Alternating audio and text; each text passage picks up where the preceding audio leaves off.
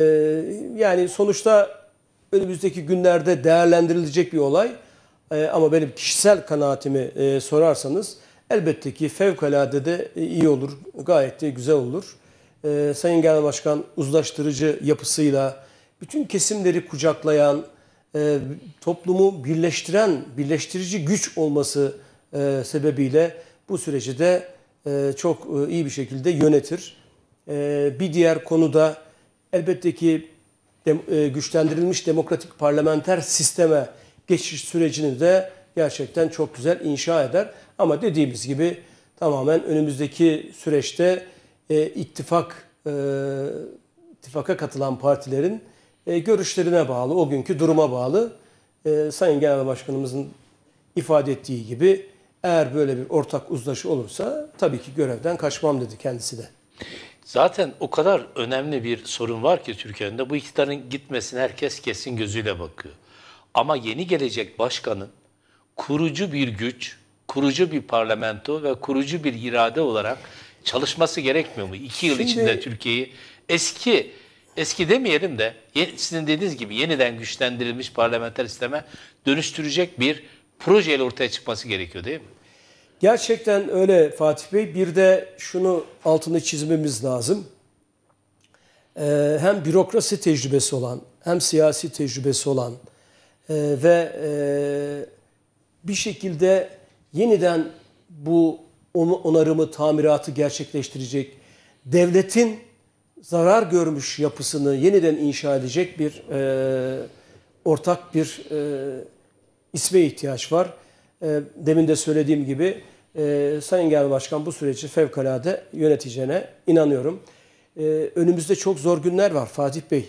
Aynen. E, çünkü Haklısınız. bildiğiniz gibi 18-19 yılda birçok yapı maalesef tahrip edildi. Türkiye dış politikada, iç politikada, ekonomi, eğitim, sağlık inanılmaz sorunlar ağı içerisine girdi ve devletin yapısı bozuldu. Devletin hiyerarşisi bozuldu.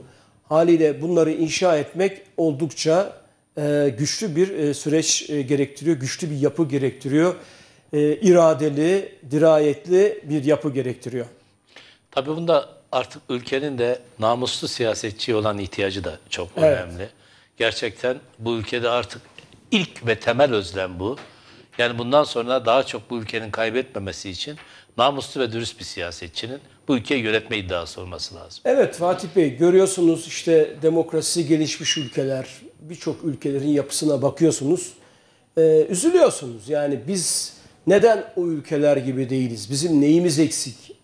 Fazlamız var aslında ama görülüyor ki maalesef ee, yönetimsizlik şu anda içinde bulunduğumuz yönetimsizlik bizi her geçen gün çok daha büyük sorunlarla karşı karşıya bırakıyor. Türkiye artık yönetilemiyor. Ee, bakın 2017'de gündeme geldi Cumhurbaşkanlığı hükümet sistemi. Aslında 2017'den bu yana fiili olarak Cumhurbaşkanlığı hükümet sistemiyle yönetiliyoruz. Ne kadar 4 yılda tahribata yol açtı? Şöyle bir bakar mısınız? 4 yıldan bugüne ne kadar değişim oldu? İşsizlik rakamlarına bakalım. Gayri safi milli hasılaya bakalım. Kişi başına düşen milli gelire bakalım. Enflasyona bakalım. Dolara bakalım. Altına bakalım. Hangi pariteye bakarsak bakalım 4 yılda bile Türkiye ciddi anlamda geriye gitti. Sorunları büyüdü. Adeta e, Türkiye bir çöküntüye doğru da gidiyor. Bir yönetimsizlikle de karşı karşıyayız. O günlerde bize ne demişlerdi? Türkiye çok hızlı karar almak zorunda. İşte e, çağın gerektirdiği süreç hızlı karar almak zorundasınız. İşte efendim e, bürokraside zaman kaybedilmemeli. İşte yasalar engel e, yönetimi engellememeli. Bir sürü millete yalan ifadelerde bulundular. Hatta hatırlarsınız o günlerde Türkiye uçacaktı. inanılmaz iddiaları vardı bugünkü yapının.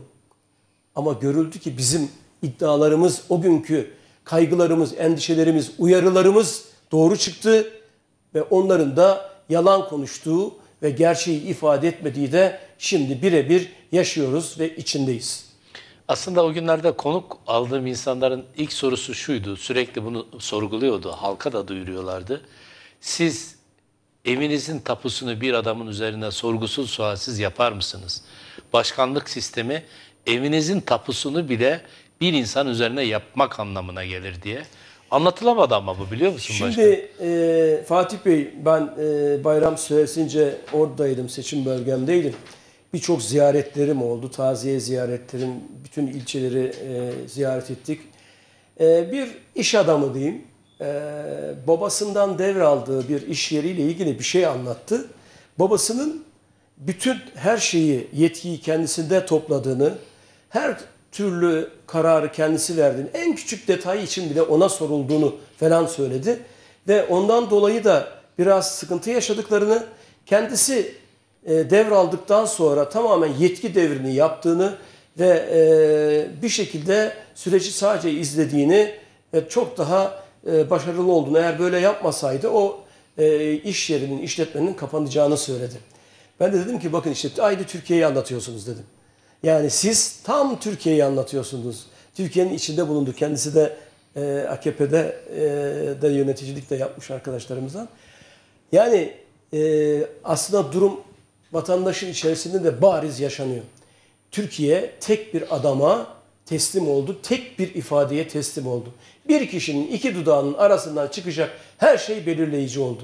Ve geldiğimiz noktada ortada e, belki kendilerine göre kararlar hızlı alınıyor ama kararlar yanlış alınıyor ve uygulamada yeri yok. Tabiri caizse araba hızlı gidiyor ama freni yok. E, lastiği patlamış uçurumdan aşağı doğru gidiyor. Durum bu. Evet, hatta anlattığınız tablo önemli. Bu arada başkan tabii e, konuşacak çok şey var ama yani bu insanın canını sıkan ülkede bir anda 90'lı yıllara bir geri dönüş, yeniden bir mafya, siyaset, emniyet, mafya, siyaset, bürokrasi üçgenleri kurulması. 90'lı yılların gözde aktörleri vardı mafya ve çete konusunda. Hapis cezası alan, susurlukta e, ortaya çıkan ve yargılanan Mehmet Ağar gibi e, ki Alaaddin Çakıcı gibi, Korkut Eken gibi yine tartışılan bir sürü ismin yeniden piyasaya sürülmesi. Sedat Peker olayı var. Kendisine e, koruma tahsis edilmiş. Bugün sizin milletvekiliniz Ali Mahir Başar'ın iddiasıyla Cemır verilmiş. Rahat konuşsun, telefonları dinlenmesin diye İçişleri Bakanı Cemır e, tahsis etmiş.